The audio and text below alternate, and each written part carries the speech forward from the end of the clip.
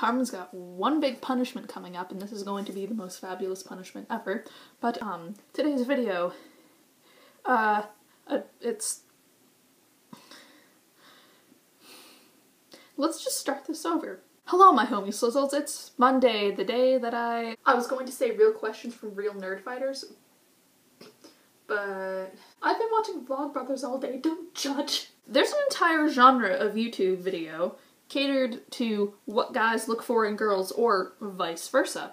And the Vlogbrothers did one that was a little not traditional, but I figured that I would, you know, go with the flow. So, attractive things guys do that I like and it's just just Andrew wanted to see this video.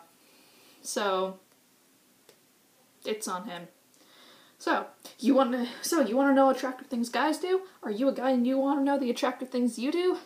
Are you a girl? These are the thing, guy, things guys do that make you just want to puke rainbows.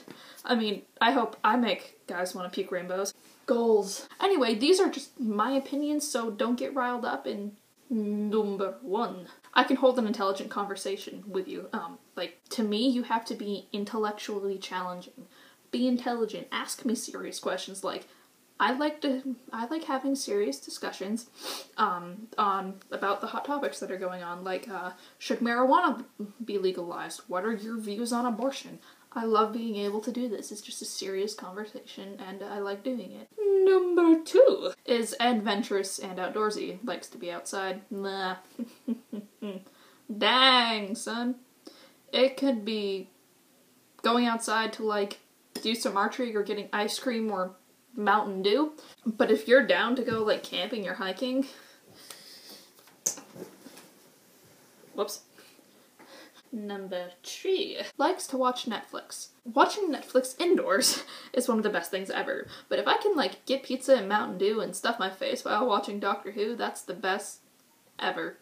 Number four when he makes funny noises and jokes and doesn't care what people think. I think guys like this are way more fun to be around um, than guys who stick to like the mainstream stuff. Like, nah, man, screw all that. Um, but then again, don't be the annoying person and do it over like, goat. OMG, I'm so random. yeah, everybody hates that person.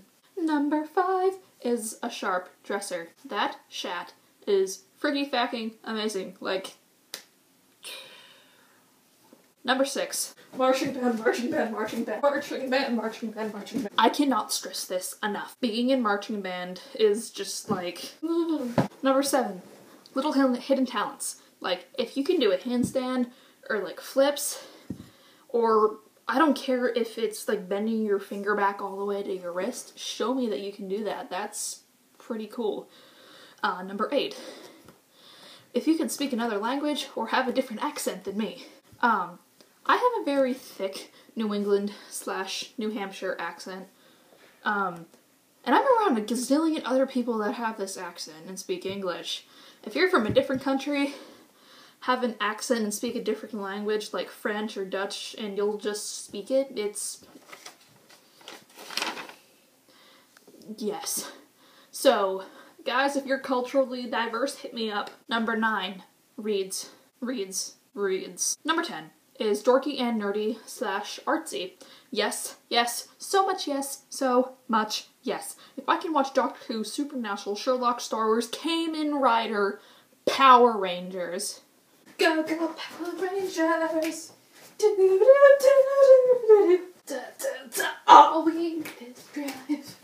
Yes, yes, yes, yes, yes, yes. That is all I have for today. Please like, comment, and subscribe, and everybody, I will see you all Monday.